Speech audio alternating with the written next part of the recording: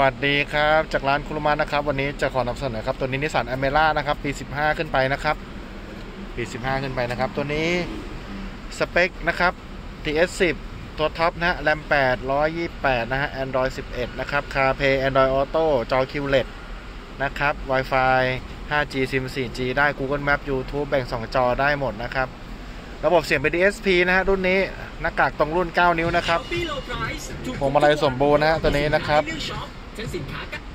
โอเคนะฮะสวยงามติดตั้งตรงรุ่นนะครับ วิทยุอะไรใช้งานได้เหมือนเดิมนะฮะเอาชัดเจนนะครับอยู่ใน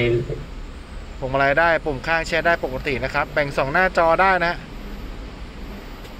ประมาณนี้เลยนะครับ โอเคนะครับ จากร้านคุรุมะนะครับ ติดต่อสอบถามได้นะครับ สวัสดีครับ